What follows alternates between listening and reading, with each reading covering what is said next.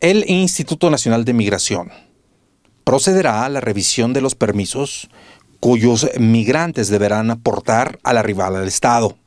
y de los cuales deben acreditar su estancia legal en el país. Efectivamente, nosotros hemos empezado a tener eh, quejas de algunas personas de la ciudadanía con relación a esta actividad. Eh, casi la mayor parte de ellos, lo podría decir casi el 95% de personas, sobre todo de Centroamérica, que están ingresando a nuestro país, en este momento tienen permiso para transitar por nuestro país. Esa es la nueva política migratoria del gobierno de México. Entonces ahorita la mayor parte que ingrese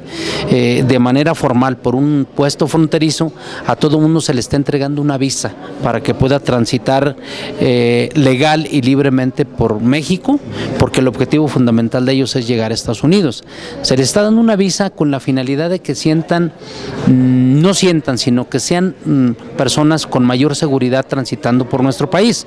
Eh, con esa visa ellos tienen la posibilidad de acudir al gobierno municipal, al gobierno del estado, con alguna corporación de seguridad o con nosotros mismos como instituto para poder apoyarlos en lo que ellos requieran, en un servicio médico, hospedaje y alimentación. Sin embargo, esas visas no les permiten eh, vivir de la caridad o pedir limosna, pues como comúnmente se llama. Nosotros estamos haciendo revisiones para poder solicitarles la documentación. Quiero decir que no todos traen visa, la mayoría sí, pero algunos que no la traen, nosotros estamos procediendo a presentarlos y alojarlos en la estación migratoria. Nosotros tenemos una estación migratoria en la ciudad de Zacatecas, donde allá las personas que no acrediten su estancia legal en México, pues se les da hospedaje, alimentación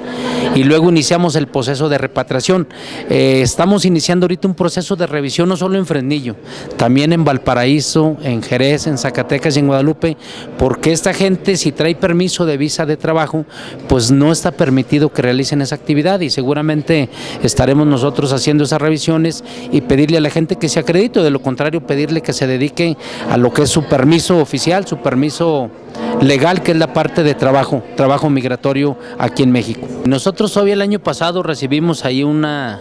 caravana de migrantes, incluso el centro de alojamiento que tenemos no fue suficiente, ahí nos apoyó el gobierno del estado y el gobierno municipal de Guadalupe para alojar cerca de 130, 140 personas que llegaron y que agarraron por tránsito las carreteras de Zacatecas. Pero normalmente el tránsito de los migrantes que vienen de Centroamérica hacia la parte norte de nuestro país tienen dos rutas, la ruta que tiene que ver más con,